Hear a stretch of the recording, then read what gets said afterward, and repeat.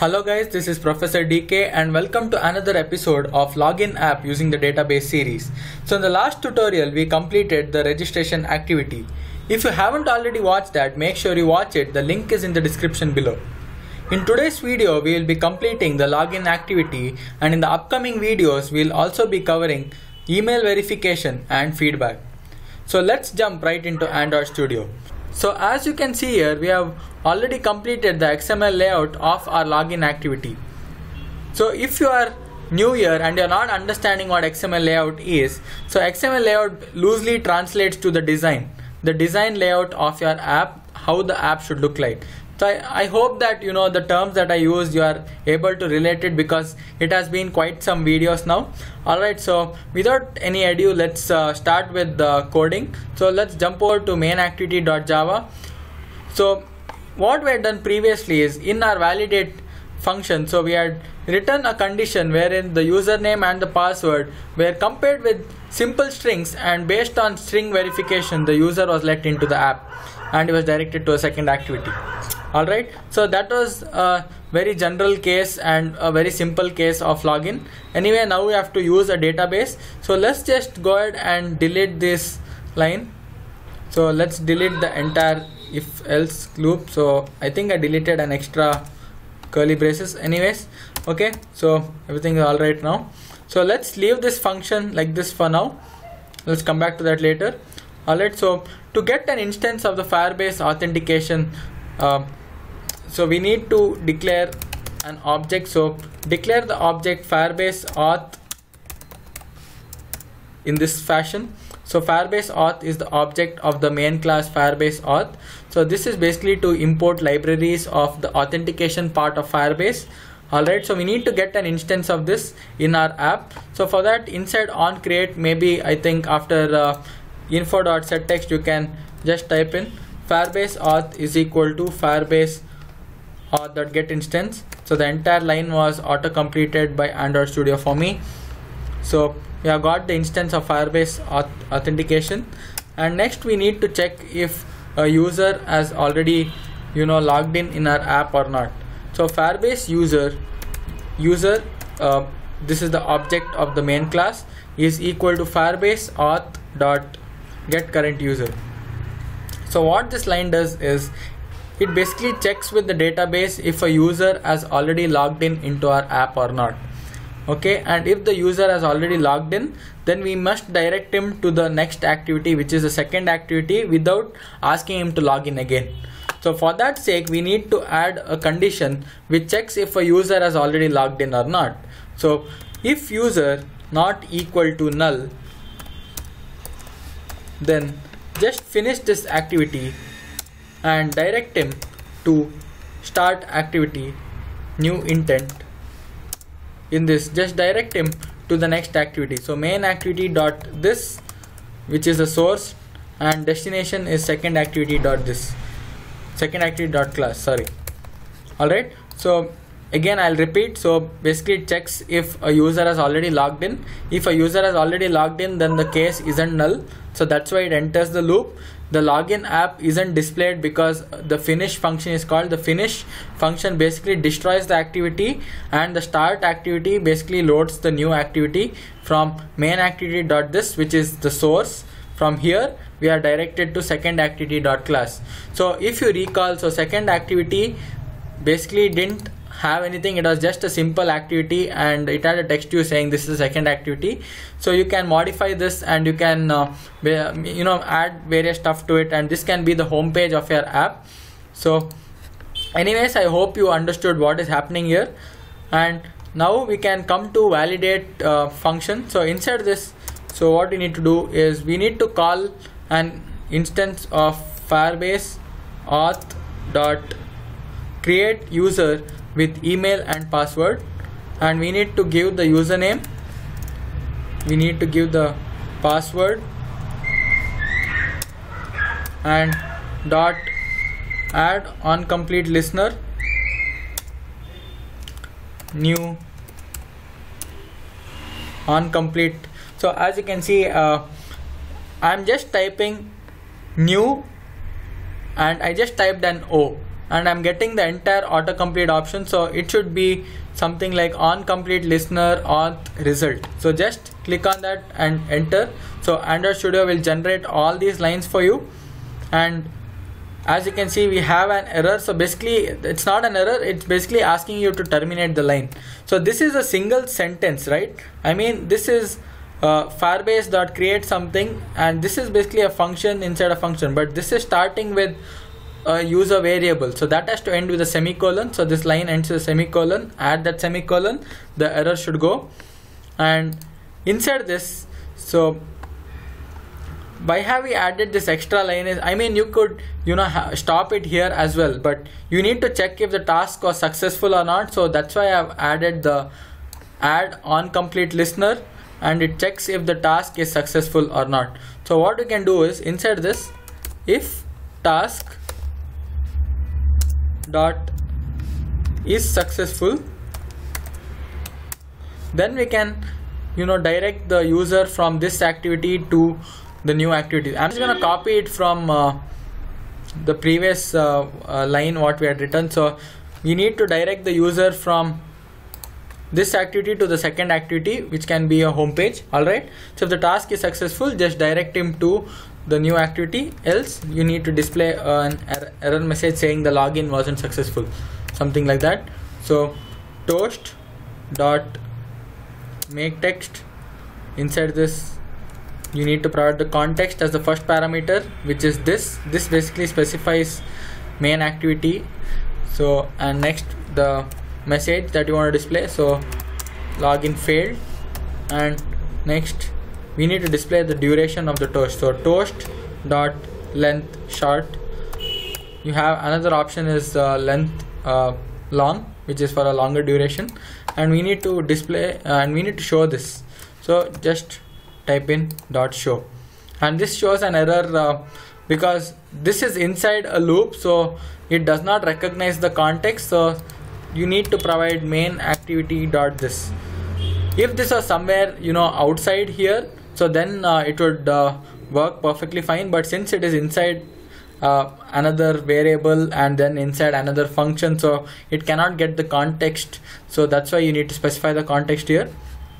Alright so these are uh, general things you know you will see. This is uh, so you might ask me so how do you know this uh, so I didn't actually know this so I have since through experience I have come to know certain things and this is one of them. So if the function basically can't recognize which context it is. You need to just uh, give it the entire name and then it will uh, the error goes. So as simple as that. So we have uh, displayed the error message and you can you know make it a little more uh, interesting by adding a progress dialog as well because to verify and uh, you know validate it it might take some time. So instead of just uh, uh, waiting for the error message or login successful message oh we forgot add the login success message so we can add that as well. So inside the if condition.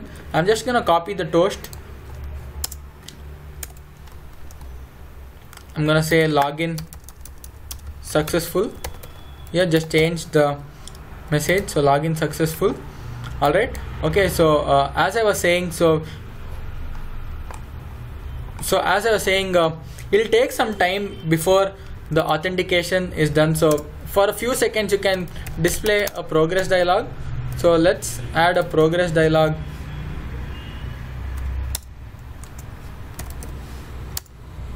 Dialog. So you're getting this uh, line because it says that it is deprecated. Basically it means that uh, newer versions of android will no longer be working on it. But anyway this will still work on your phone. It's deprecated doesn't mean that it's not gonna work. It's still gonna work but uh, they have a newer version or something better than that which you can use. So anyways the progress dialog is just uh, good enough for us right now. So let's just add that and inside on create we need to get an uh, instant of this. So for that after firebase auth so let's just do progress dialog is equal to new progress dialog this. Alright so we have got an instance of uh, progress dialog. So next to implement this so when the user basically clicks on login so it's it's first gonna check if uh, it's first gonna validate if the username and the password are stored in the database. So when the validation takes place uh, so before the firebase.create is called we need to start the progress dialog. So progress dialog dot set message. So inside this we can add a funky message which can you know uh, give some hint to the user. So these are called clues. So you can the user can know what is actually happening and how long it's to take. So progress dialog dot set message and inside this uh, you can give any message. So i'm just gonna type in uh, you can subscribe to my channel. Until you are verified.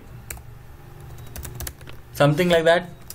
So type in your message and then you know you need to show the message. Show the progress dialog so progress dialog dot show. And when do you destroy this? So you need to destroy this once the login is successful right? So if the task is successful so firstly progress dialog dot dismiss. And then display a toast saying login was successful. And then direct the user from this activity which is the main activity the current activity to the second activity. All right so now that we have written this uh, there is one more thing that i forgot. So remember the first time we had actually added a counter. So in our validate if the task isn't successful so we need to decrease the counter. And if counter is equal to 0 then we need to disable the login button. So what is the name of our login button? So the name of a login button is login. So login dot set enabled and we'll give the boolean value as false. So it checks if the user is present or not. If the user is not authorized so it says login failed and the counter is decremented. And if the user tries to log in incorrectly more than five times then the login button gets disabled. Also so we need to add this progress dialog dot dismiss in our else condition as well because you do not want the progress dialog to keep running even when this has failed right? So this has to run only when you want the user to wait until this process has completed. The process of verification and then displaying if the user was uh, the login was successful or not. All right so progress dialog dot dismiss. And the last piece of code that we need to add before going ahead and clicking on the run button is we need to you know set the info here. So info dot set text. So number of attempts remaining. Give a space and then just type in counter variable. All right so if you remember uh, the info was basically uh, present at the bottom here. So it displayed the number of attempts remaining.